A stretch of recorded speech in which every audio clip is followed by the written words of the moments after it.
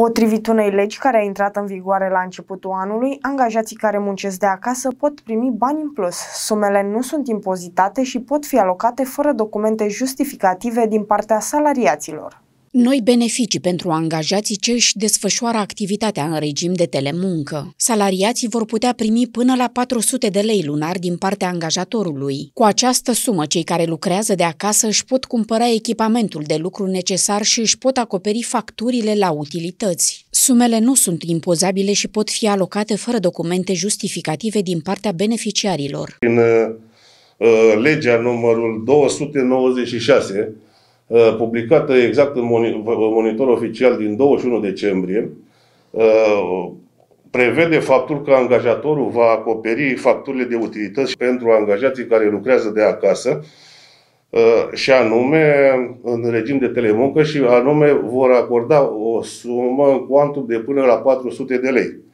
De asemenea, din acești bani, angajatul își poate cumpăra și mobilă sau echipament de lucru conform uh, legii. Mai trebuie menționat faptul că banii, uh, firmele vor putea să uh, acorde telesalariaților acești bani uh, fără ca salariatul să aducă documente justificative.